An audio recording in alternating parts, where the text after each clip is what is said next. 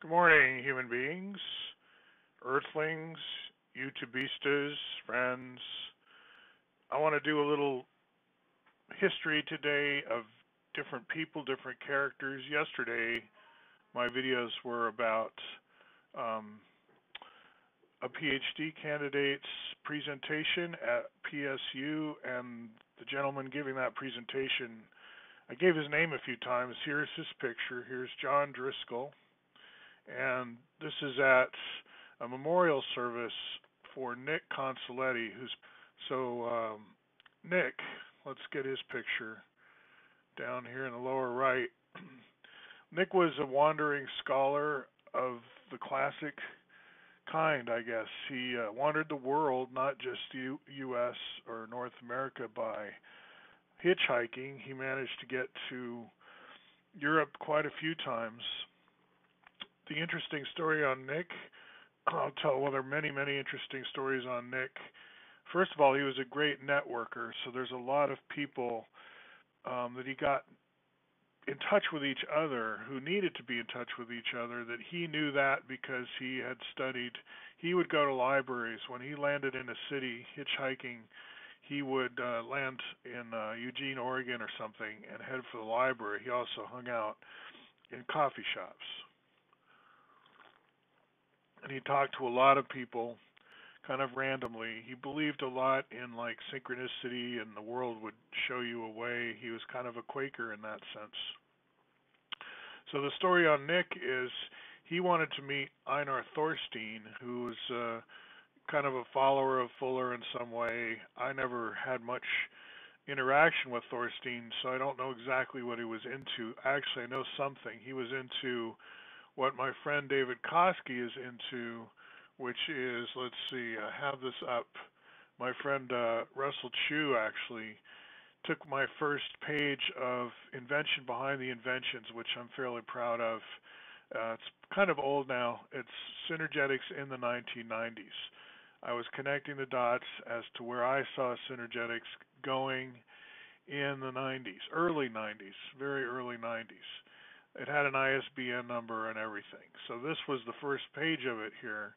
And at the bottom or towards the bottom, I'm going to click on Playing with Blocks, which is a section, another section of the page. Quasi crystals. Let's see, where's Playing with Blocks in this picture? Spheres of relevance. Up and down we go. So Nick wanted to see Einar Thorsteinn in Iceland, of all places he was going to, I think, find his mother in that chapter. So one time he went to Schumacher College in England and uh, was hoping to meet up with David Bohm there and, you know, the famous physicist, but that didn't work out. David Bohm passed away. Here we go, playing with blocks.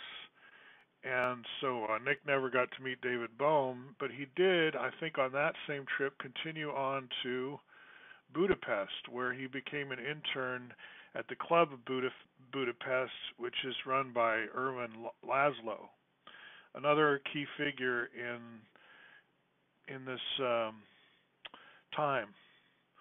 You can do some research on him. Uh, and so Nick was a very quiet guy, though, and he would show up missing some teeth, and you know the life of a hitchhiker had been pretty hard on him he was definitely like he didn't like to be referred to as homeless, but he was home on the planet and so forth. He was a wandering nomad, and he really needed better equipment to do what he was doing.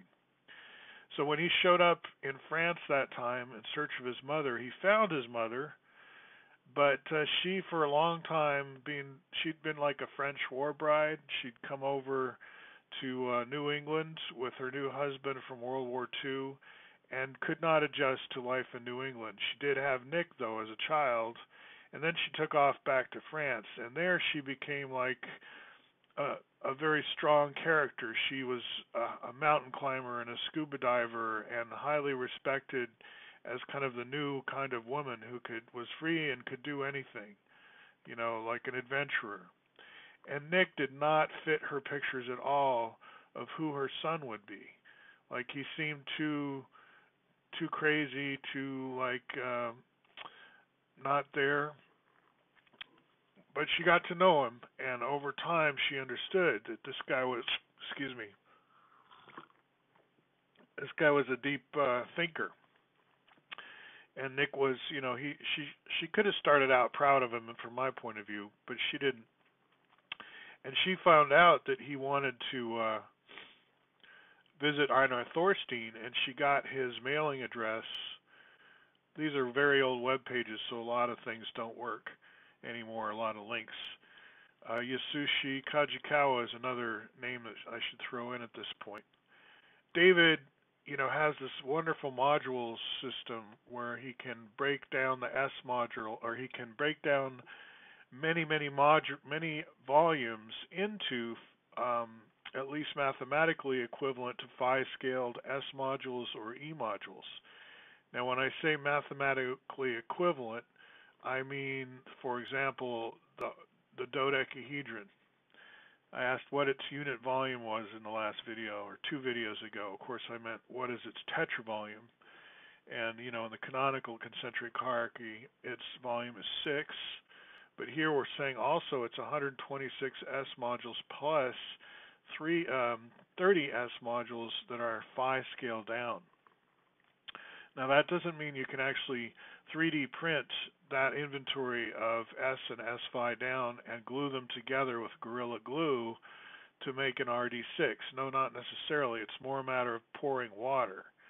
They're volumetrically equivalent, but that doesn't mean like when you make when you're cooking, you can't use that cup-shaped measure and you know fit it inside the turkey or whatever. Or maybe in that case you can, but you get what I'm saying. The shape of the volume may not be preserved as you pour it into your target shape. Or it may be. So then there's the question of when we talk about an identity, are you talking about something uh, buildable or pourable? Is it uh, rigidly true with actual modules, or is it volumetrically true with, you could say, liquid or whatever? And I'm using very high precision arithmetic to verify a lot of these identities in the spreadsheet. So David's a pioneer in this area, and over time, I think, has established his sort of primacy in a certain way, king of the hill, in a particular obscure branch, we could admit, big fish in a small pond and so forth. But he felt a sense of rivalry with Einar Thorsteinn to this day. Now, Einar has passed away, but he also studied the modules and building blocks. And why I'm proud of my Synergetica essay is because I think I predicted playing with blocks is about how that's a big aspect of synergetics.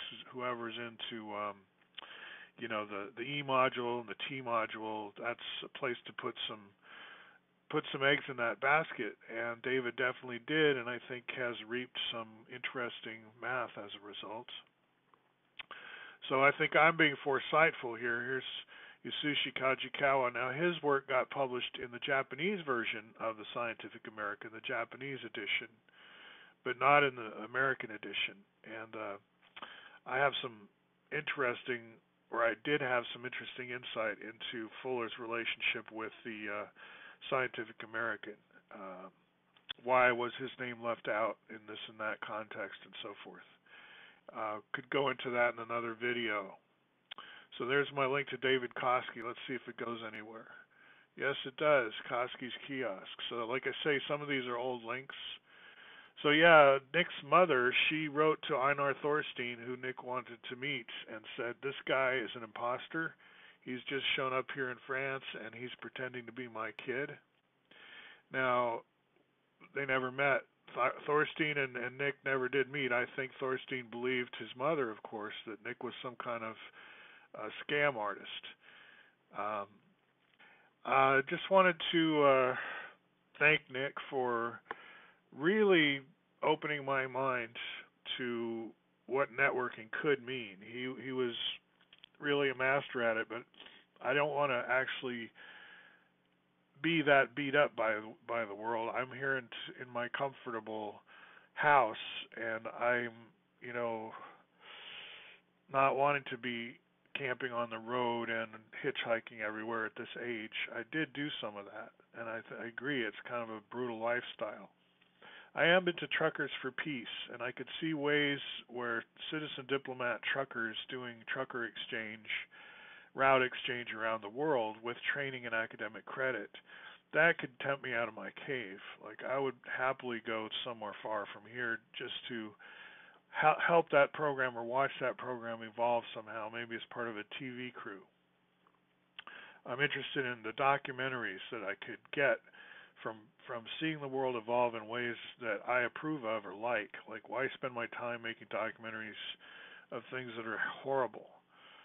So in the playing with blocks world, I'll end with uh, Graham Forcecut. He's the, an example of someone who knows about the E module, probably does stuff with the S module too, too for all I know, and has taken it into sacred geometry world which I found out a lot about from Nick, and not that Nick was really that into it, but he knew who was doing what in every every walk of life. It seemed like.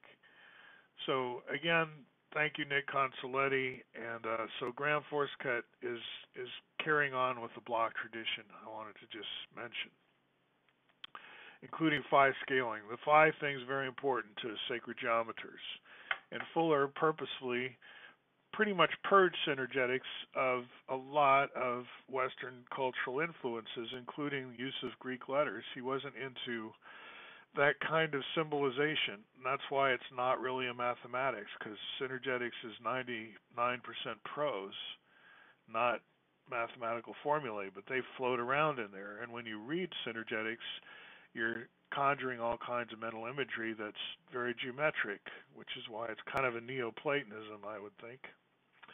So we'll talk more. Thanks again for listening.